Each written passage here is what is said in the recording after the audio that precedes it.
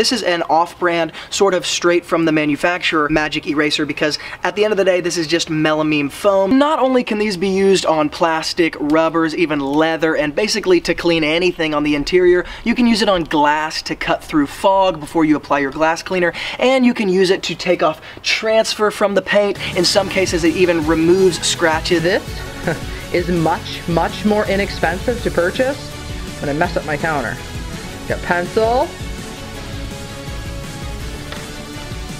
pen, okay. Take the same eraser, the melamine foam, put it, and clean up your mess. Done.